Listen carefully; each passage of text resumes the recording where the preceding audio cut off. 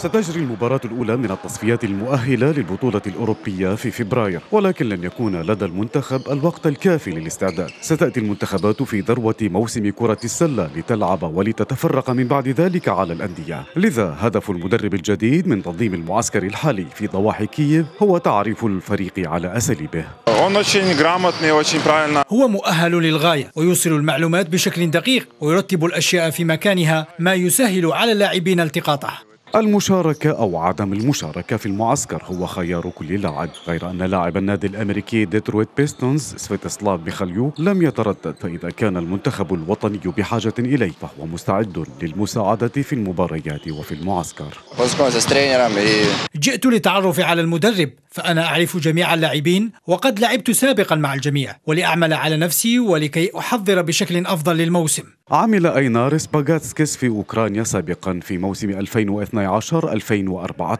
وقاد مرتين نادي بوديفيلنيك كييف إلى البطولات ولقد حان الآن دور المنتخب الأوكراني. تعجبني خلطة الخبرة والشباب. والحماس الموجود عند المنتخب الأوكراني لدينا لاعبون فتيون جدا وطموحون ولقد أظهروا أنفسهم في مكان ما. وهم قريبون جدا من الدوري الأمريكي للمحترفين. سيخوض المنتخب الأوكراني خلال المعسكر التدريبي مباراتين ضد منتخب روسيا البيضاء وسيبدأ تلامذة أينارس باغاتسكيس خوض التصفيات لبطولة أوروبا في السابع عشر فبراير من العام المقبل.